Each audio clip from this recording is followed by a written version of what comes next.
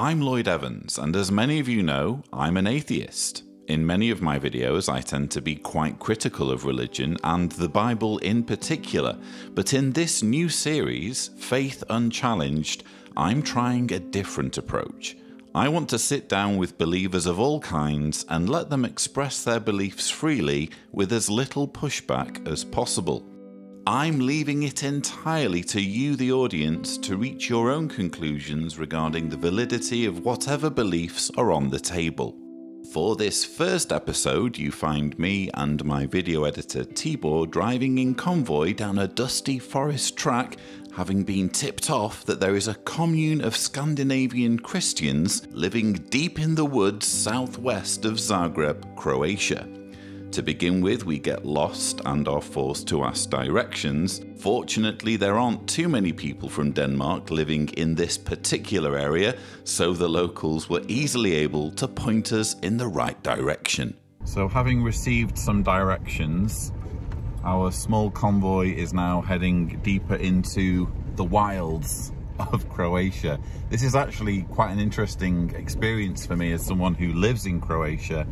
I've never seen countryside as completely wild and untamed as we're seeing here. It's incredible to think that this has been here all this time, all the years I've been living in Croatia, and I've never, I've never seen this sort of terrain. Anyway, we're heading deeper into the unknown, as Elsa would say, and we're hoping that we can find our Scandinavian family. And find them we did. It was very much a clash of styles as Helen, wearing almost medieval apparel, warmly welcomed yours truly, bedecked in my Sir David Attenborough disguise. I was then whisked off on a brief tour of what Helen calls her safe haven an isolated commune and spiritual retreat boasting an impressive inventory of used tyres, where the basic concept seems to involve becoming one with nature and thereby getting closer to God. As horses grazed peacefully in the clearing beyond, I was introduced to two French travellers who were spending two weeks at the commune to assist in creating various structures using only raw materials foraged from the woods. So we were just talking uh, off camera. Um, these two gentlemen are from France, and they've come here to assist with the building project, with with creating this environment. That what were you calling it before? The safe safe haven. haven yes. Safe haven. Yeah. And you're here to improve your skills with construction and building with raw materials. Yeah. Is that right? Yeah, exactly. Yeah. And just like simple construction. Uh, with something you find in the wood or nature. Yeah, fantastic. It's really good what you're doing. I, I, I hate interrupting you. so, yeah, brilliant. As Baptiste and Clement busied themselves in crafting twigs and string into the beginnings of an earthenware oven that I'm sure would have made Ray Mears proud, I sat down with Helen, eager to learn what had led her to this place and the ambitious project she was undertaking. Helen, thank yes. you for allowing me to come and learn more about your, I guess, mission. Is that a, a reasonable word to use? Yes, it is. Yeah. Um, you're welcome here in Safe Haven. So, perhaps you could explain um, about your belief. You, you, you're clearly a woman of, of quite deep and profound um, faith. So perhaps you could, you know, describe that for me. I am a um, non-denominational believer. I believe that the fully gospel, uh, the whole Bible is inspired by God and written for us to be taught to live with Him. And uh, that His uh, commandment still stands, not the Mosaic uh, laws, but the commandments, the Ten Commandments, uh, written by God's own finger on Mount Sinai. Um, there for us to live by. And that Jesus Christ is God who came on earth, um, gave his life on the cross. Um, on the third day, raised from the death. And it's for us to know him and to have a personal relationship with him. Because without that, there's a cut, cut I'm gonna say I become like "Brr, the preacher. I don't want that. Well, we, you say without that.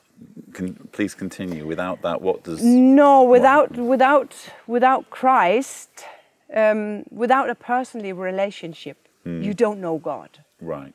You can be a religious person. You can know the Bible all the way. You can know all the right scriptures. You can even you can stand and you can proclaim His word. But He says your proclamations will not get you anywhere.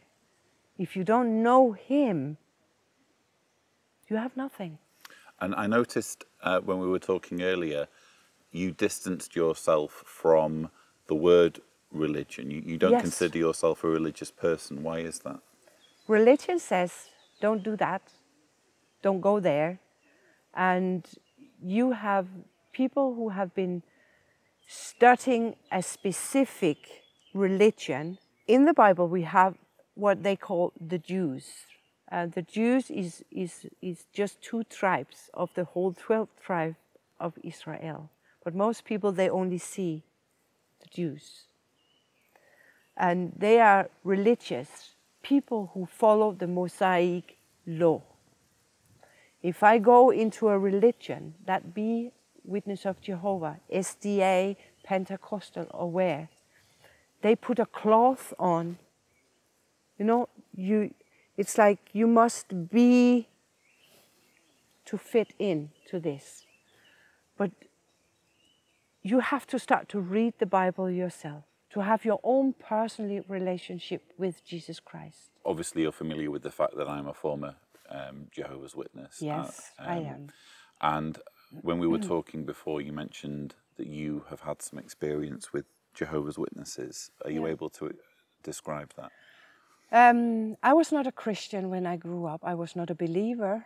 Um, my grandmother, um, who died when I was six years old, she was a deep believer in Jesus Christ of Nazareth. Um, we went there, I think, two or three times a year. And what she told me in those years, it stuck, sit in, in, yeah. When I was a teenager, yes, I could pray the Lord's Prayer and so on, but I did not know who God is. And um, I was in a turbulent years uh, with uh, marriage, children, and a lot of things went wrong. Um, living my own life, um, it must be chaotic. You know, it, it, it was doomed to do that. And I was very close to commit suicide in one point of my life uh, with two small young children. And standing there in my kitchen, I hear the voice of God saying, Seek the God of your grandmother. And I was just stopping there. Um, the only thing I knew about my grandmother's God was his name is Jesus Christ. He was crucified on a cross. Um, he gave his life for me to forgive me all my sins. That's how much He loved me. And if I believe in Him, I shall live with Him. That's what I knew. Um, and that there is a heaven and a hell. And my whole world stopped. And, and honestly, I can't remember the next six months. I got out of this uh, violent marriage and all the things Oh, that I'm was. sorry to hear that. Yeah. Yeah. um, and then somehow the witness of Jehovah, or Jehovah's Witness, how you say, they came to my door one day. And I was looking for company, I was looking for this. I started to seek or to figure out who is my grandmother's God. And um, I studied with them. They came with this Bible, this book, I call it a book, to read. And I couldn't read it. It was just, there was no sense in it. And I was, I kept saying, I, re- I read with them for one year. I was just like, this is not my grandmother's God. My grandmother's God is not the Archangel Michael. He, he came from my grandmother's God. He is God the Most High. He came from, from heaven to earth to give himself. He became lower than an angel for a time. That's how great his love is. Just to give everything up for you and for me and for everybody. So this is not my grandmother's God they are preaching. One day, my father he got he got cancer, and um, yeah, as I said, I was studying with them for a year, around a year, and he, my father he got cancer, and um, I have this aunt, my father's sister, and um, I haven't seen her. I had not seen her since I was a very young girl, because in my family we didn't have contact with her because she was a very strong believer. She was standing on the street preaching Christ, you know, to everybody coming her way, and um, my mom didn't like that, and my father he was just like, okay, sis, stay away. So we didn't see her, we didn't know her at all. But one day she was just there, standing in front of my door. I had not spoken with anyone of my family members and told them that I heard the voice of God telling me to seek the, the God of my grandmother because they would have thought that I was crazy and I needed to go away somehow. So I was just, but then she was at the door knocking and I open and this huge lady, she's in front of the door and she's standing with a Bible and she says, I am here to present your grandmother's God for you. I was just like, whoa, what's happening here? And um, she came in, she didn't seek my friendship. She didn't seek to be my auntie or anything. It was just this lady. She was just here to tell me about Jesus Christ for my salvation. And she came in, and we were just standing in the kitchen um, next to the stove. And she started one scripture after another, and she was telling, This is what the Bible says. The Bible says, This is your God, this is Christ who came to earth. He loved you so much. You are dearly uh, created in His image. You know, you are a pearl, you are perfectly uh, made. You are a treasure, and He wants to save you from this world, from yourself, from sin, from everything you have done wrong, he shed his blood. Do you believe in that? She's like, yes. Okay, let's go on our knees.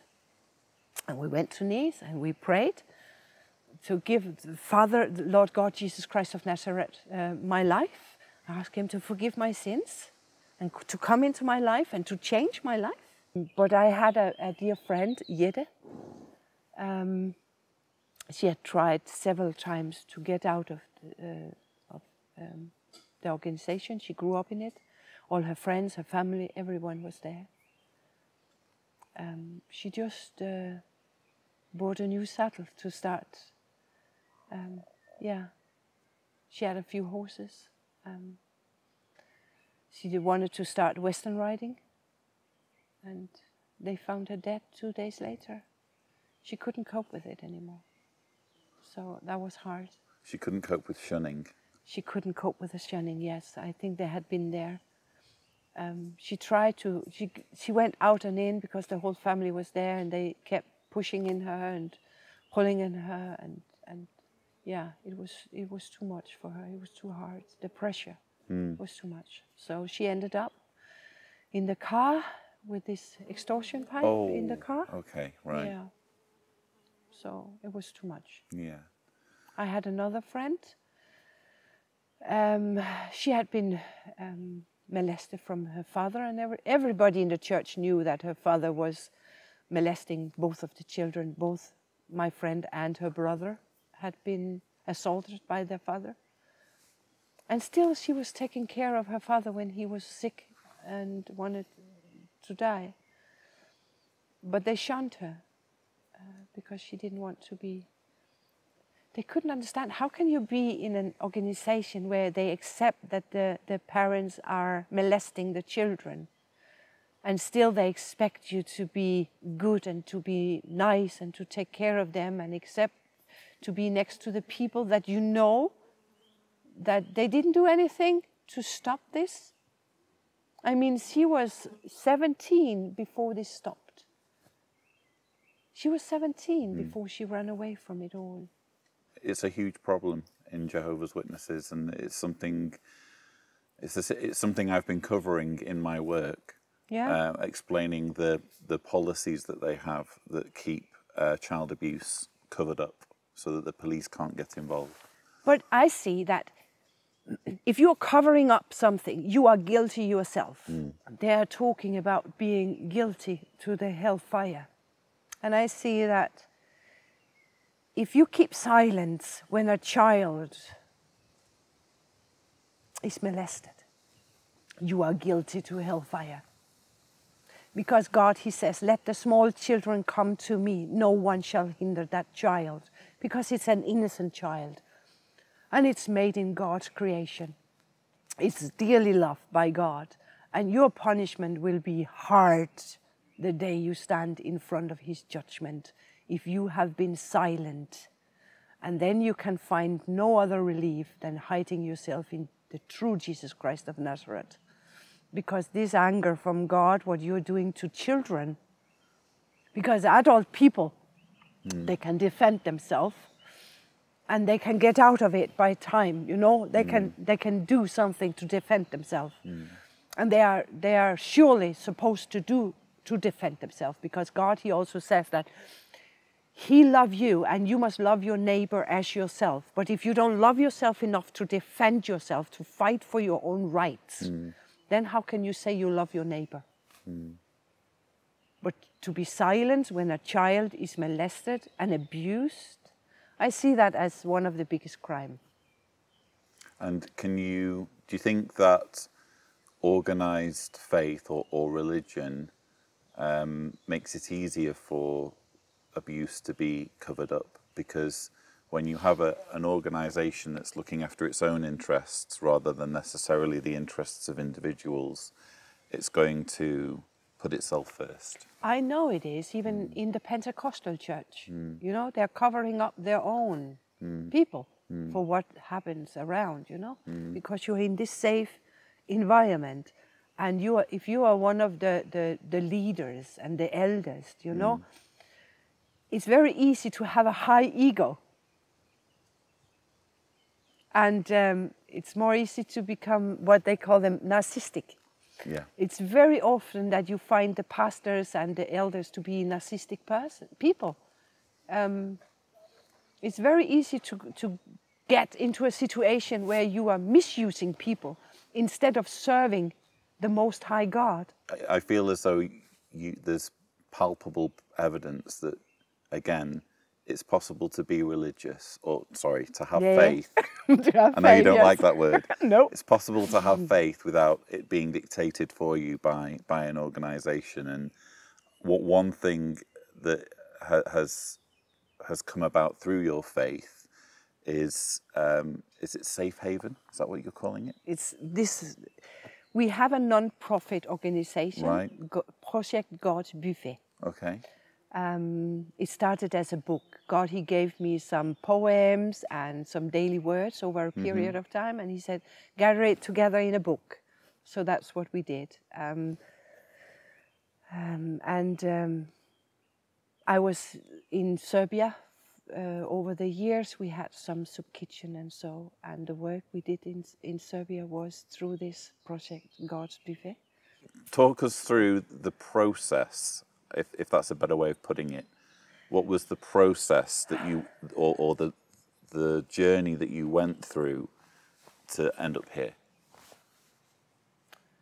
What was the journey? Hmm. The journey was from beginning where he started to speak to me from Isaiah 2 2. Um, that in the, the, the end of the days, he will. Um, I cannot even in, in English. I'm trying to wrap my, my brain in English in the same time it's going in Dan- okay. Danish. The house of the Lord shall be built upon the mountains, and from there the word of God shall go out. And every time I prayed, those words kept coming to me. And um,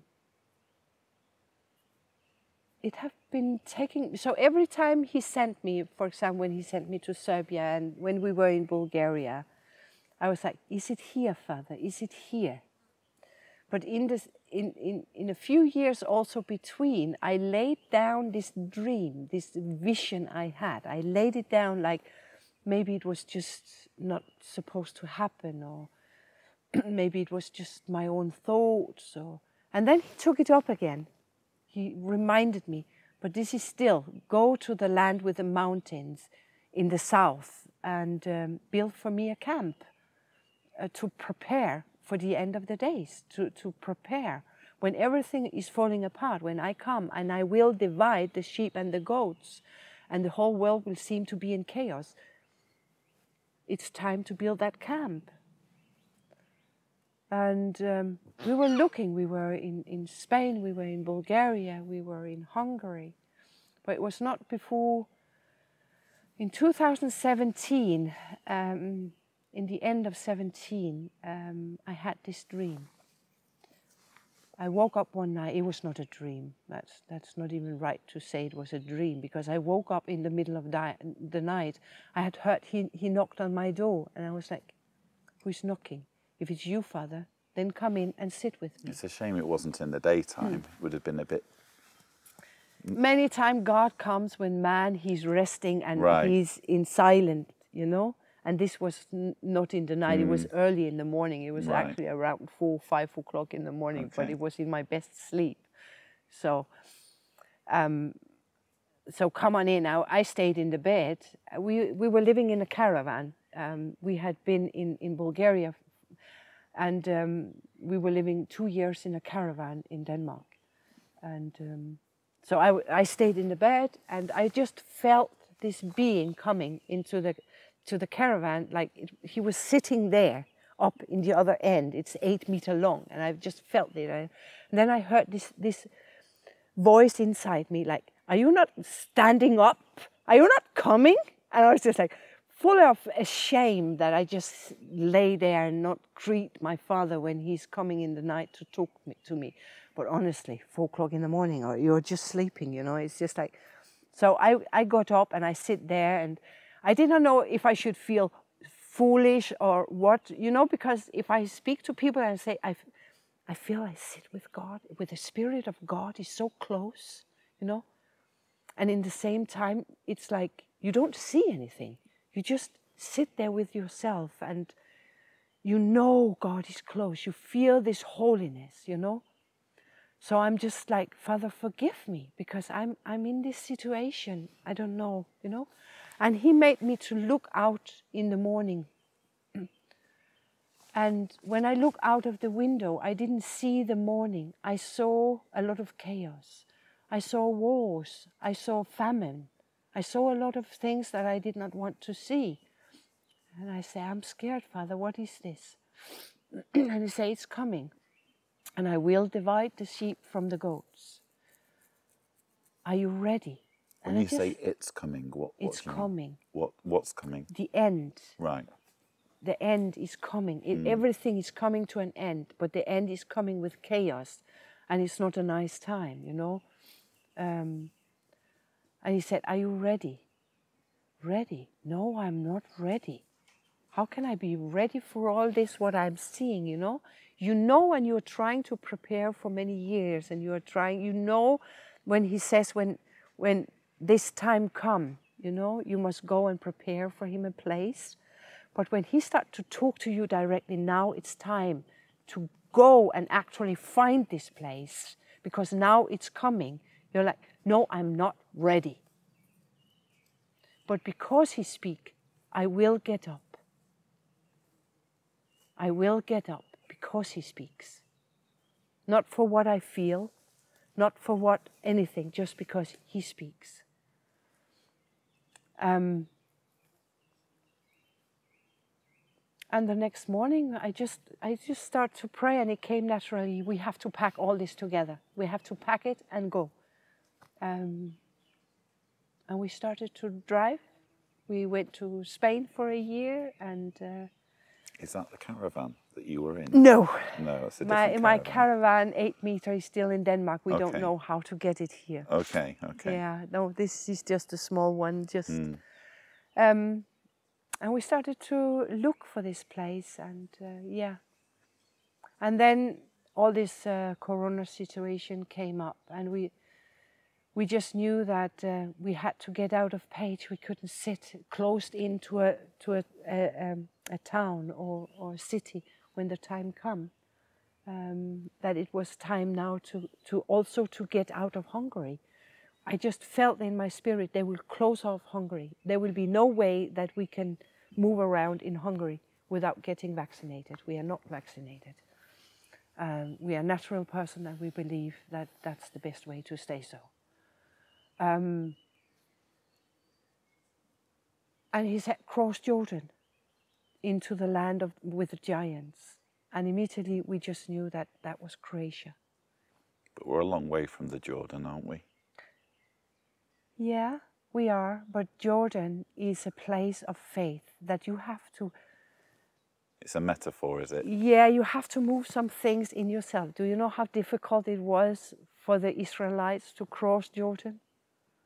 They well, have to wasn't trust, the water parted for them? they something? have to trust that okay. God will move the waters away right. to move all this and so when he says go into jordan to the cross jordan into the land with the mount with the giants just like giants wow that's trouble you know yeah I, I, haven't seen many giants while no, I've been but here. you know we have a mountain actually we got an apartment 100 kilometers from this place and one day a pastor he come to sit and spend time with us and he said, he, we sit in the balcony, and he said, You know what this mountain is called? No, the sleeping giant. I'm just like, wow, isn't it a great Father we serve? Isn't it a mighty God? Exactly what he says. Go to the land with the mount, with the giants. With the sleeping giants. With the sleeping giants, yeah. yes. But actually, the witches who are in this area, they are trying to wake him up. Oh, really? Yes. Wow that it's even foretold. Everybody know that they are gathered, you know. Every that there are witches gathering to wake up the sleeping giant. Yes, there are. Okay. So that was just what a mighty God we serve. Every word He have spoken, you know. Mm. We were told that before the winter end, we had to find this place, and um, we started to look and couldn't find anything. Uh, in the beginning of March, the month of March 21, uh, my daughter is at the internet and um, by God's grace, she stumbled over this internet site with a lot of commercials and um, there was this land. It was too expensive. And normally when we call Croatians to, to handle something with them, they will hang up on us because we don't speak Croatian. Uh, or they will simply just um, refused to talk to us. So it was just what to do. And they say, okay, you write him. You can't pay that price. It's too much.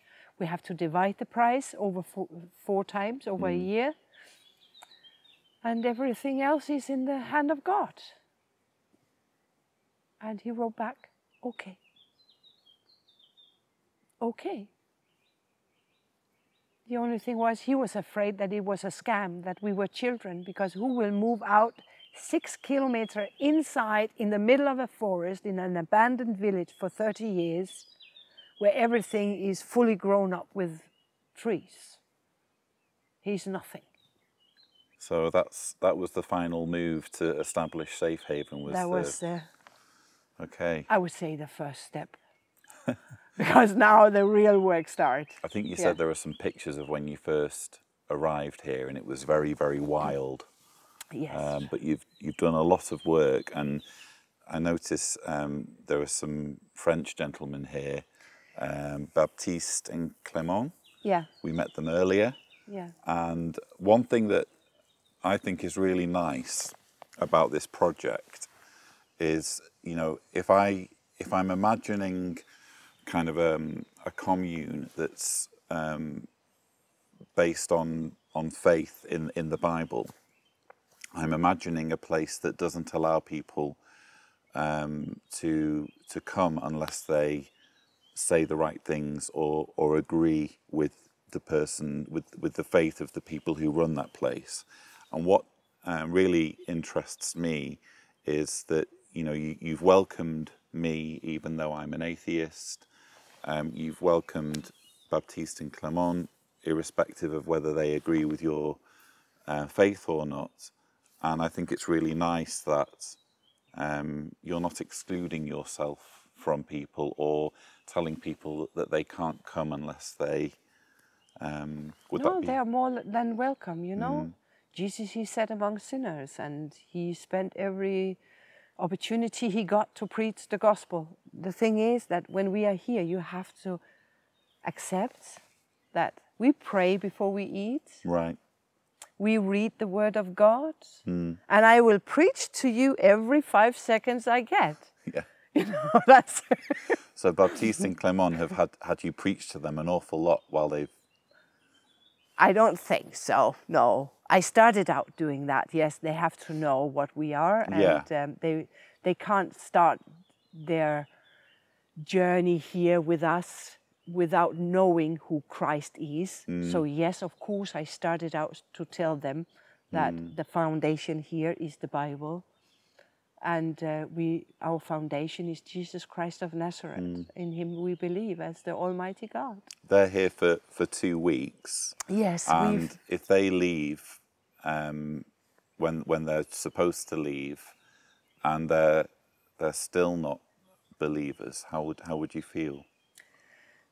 For me, um, I pray for them, but I can't do anything to save them. The saving job is God's. I preach the gospel. God says, Go out in the whole world, preach the gospel, teach people to follow me. Mm. That's what I can do. But the work of salvation is up to Christ. His Holy Spirit will work inside you, but it's also for you to respond to that mm. call mm. because everyone will get a call. But how do you respond? And according to that respond, God will start to work with His Holy Spirit inside you that you can and that you will accept that He gave His life for you. So why should you not lay it down for Him too? But He is the one who transforms people. I can't transform anyone. The only thing is, I have, when I start to preach this, I can only preach what God has shown me, and I have to go in front of that.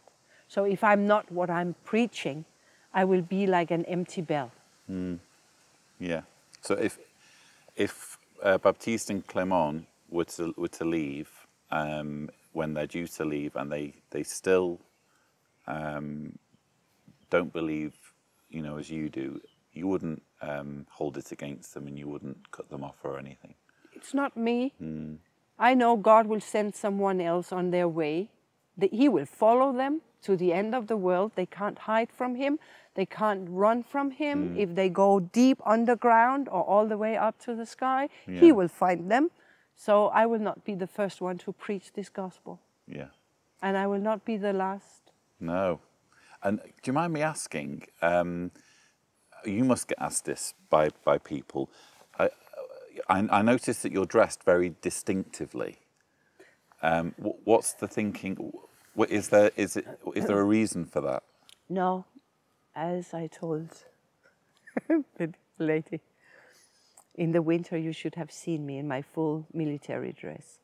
Military dress? Yes, because it's much more easy to Oh, wear right. when So you you're in like uh, camo gear and that kind of thing? completely yeah, Right. the real deal, you know. Okay. So, um, I like this style, Yeah. medieval style, Yeah. and um, I think it go very well with the thought to go back to the nature because this is back to the basic nature camp without as little electricity as possible. We have water from the well and um, we wash in a sink and it's, it's uh, really back to basic. You don't repudiate um, modern technology, do you? You, you? you do use what's around you. It's just that you try to.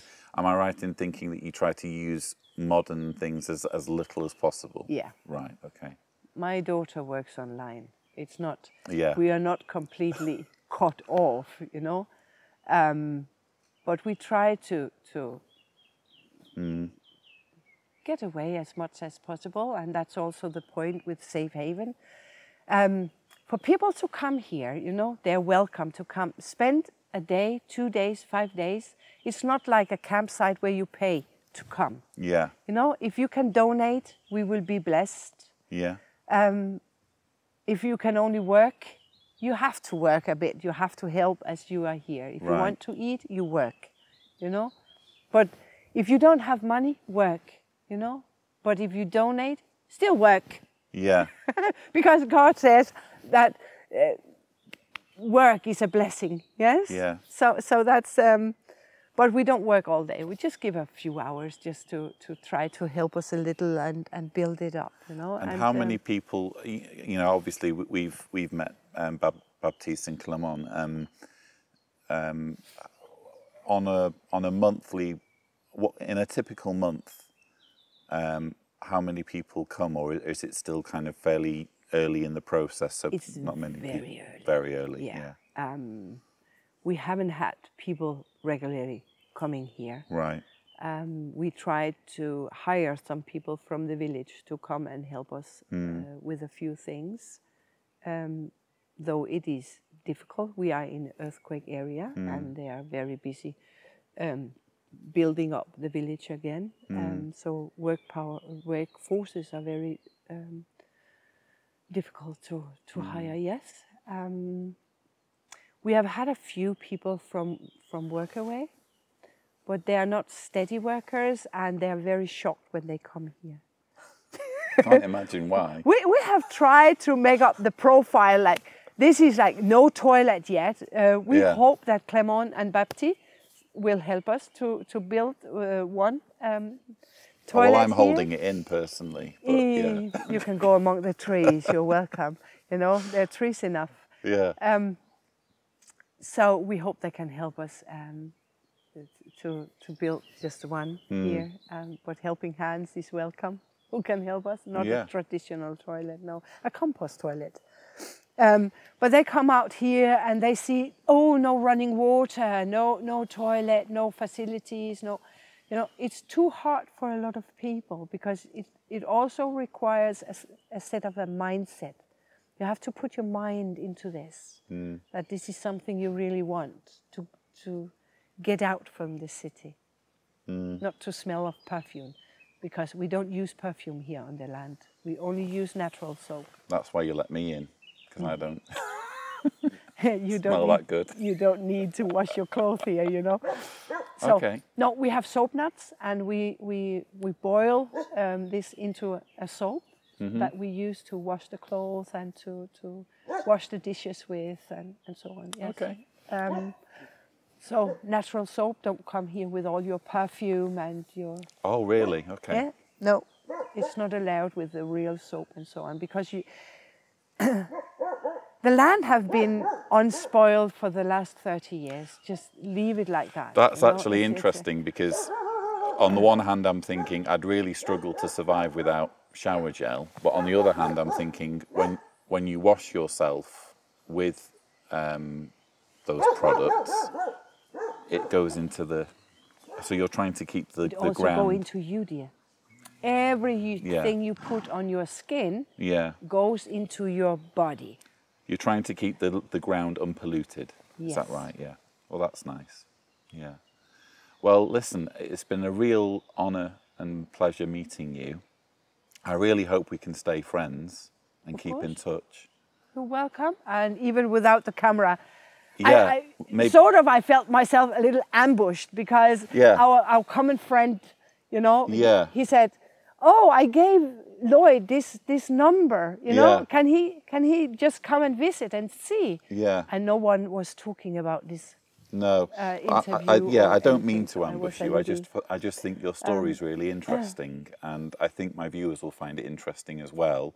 And it would be really nice if at some future point, uh, because we're right at the beginning, it feels like we're right at the beginning or or in the early stages of your project. Yes. It would be really interesting to revisit it at some future point and see. Yeah, or if you have some who would like to come and stay I'm with us, I'm they are more than welcome. I to am sure that people, at least someone know. watching this video, will think this is exactly what I want to. Yeah, to bring a do." Yeah. tent, and because we Bring a long tent. run, yeah. Uh, don't bring Soap uh, with perfume. modern um, hygiene products. Yeah. Be prepared to be preached to a lot. Yes, definitely. And be prepared to work or give some money if you're not prepared to work. Is that are those basically the rules?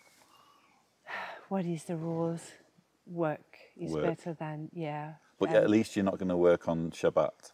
no, we don't you, you keep the in the Saturdays we don't work for we don't take any work for money Mm. and uh, yeah if the neighbor come he's really in trouble we Mm. will go and work there Yeah. but not for money yeah you know we also feed the animals yeah. uh, of which one has just arrived. yes that's Brilliant. amigo yeah um, Well- and we have three horses here six goats um, Mm. yeah Wonderful.